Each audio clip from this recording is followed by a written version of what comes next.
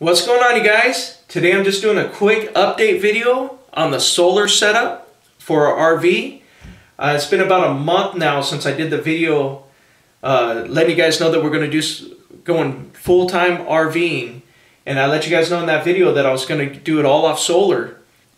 I just figured I'd do a little vi video of the progress so far. Um, I went ahead and picked up a pure sine wave inverter by Samlex.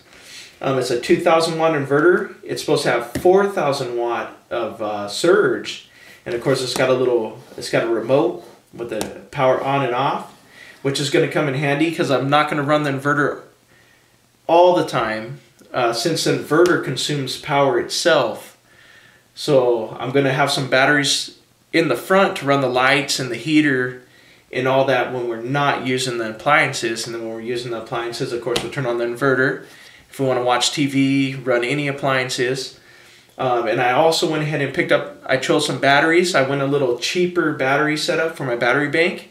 I didn't go to the most expensive ones, but the ones I picked out uh, had really good reviews and a lot of people were picking them up. So I'll go ahead and show you that. Um, I got the inverter in about three weeks ago and I haven't even unboxed it yet. I don't know what the heck is wrong with me. But if you guys want to see an unboxing, we'll do an unboxing. If not, uh, probably end up just go ahead and unboxing it. I'm a little excited anyway, so I'll go ahead and do it. But I'll go ahead and show you guys the batteries and the, the location and where I'm. I got two locations. One location's I really like, but I don't like the position in the, the RV that it's going to be at.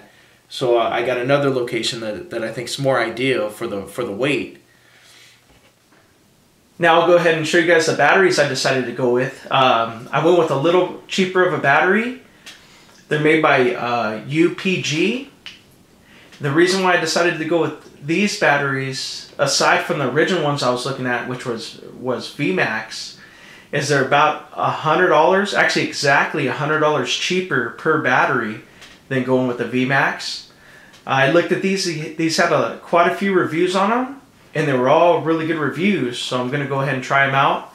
I got two right now and two on the way, so so far I got four total and I want to get two more before I go ahead and decide to, to hook it up. Originally, I was planning on going with 10 batteries for a thousand amp hours, but I'm going to go with six and then I'll add from there because I'm not exactly sure how much power I'm going to use and how, how much I'm going to need. So I'm just going to kind of adjust it as I go.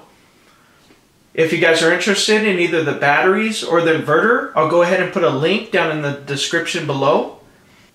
But all right, that's it for now. That was just a little quick update on what I've been up to. And as always, if you guys like my videos, please like, share, and subscribe. Thank you.